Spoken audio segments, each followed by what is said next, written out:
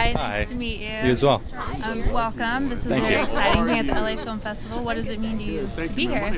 Um, I mean, we're really excited to premiere the film. So We've been working on it for a long time, and I think it turned out really well. And so we're, we're excited that everybody gets to see it now. And, and um, a lot of the cast have come out to support the film, and that's exciting as well. So everybody's really behind it, and yeah, it should be great. Very cool. And how did you first get involved with the project? We so I we sort of are the financiers. So we we got in, we met we met the producers uh, Jared and Bobby, and they pitched the project to us, and we got involved kind of in the development packaging stage, and then and we are with it kind of all the way through production, and yeah. So we've been working on it for a while now, which has been great. Yeah, yeah, yeah. So did you get to spend any time on set? A little bit, yeah, yeah. We went out to Ireland. Yeah, we're based in the UK, so we went out. To, it was filmed mostly in Ireland, and had sort of a beautiful castle outside of town. Um, so we we spent a day there, and yeah, it was nice. Yeah.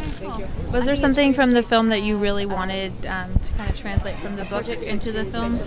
I think the sort of eerie um, sense atmosphere of the book, um, which I think is translated beautifully into the film. Um, so it's it's quite a kind of, uh, in, you know, it's obviously Shirley Jackson's an amazing author, and, and I think this was her last book. Um, and and uh, you know, there's a lot of fans of the book, and so I think it's important to try and capture the spirit and the essence of it. And I think that um, Stacie's done that beautifully in the film, so that's great.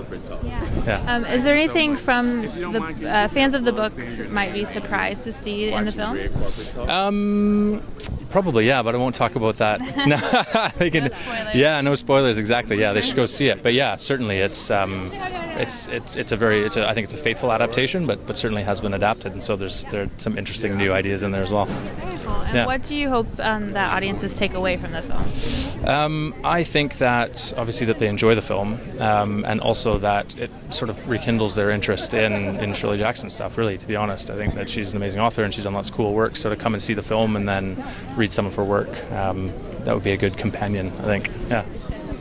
Well, thank you so much. Yeah. Thank you. tonight. Thanks very much.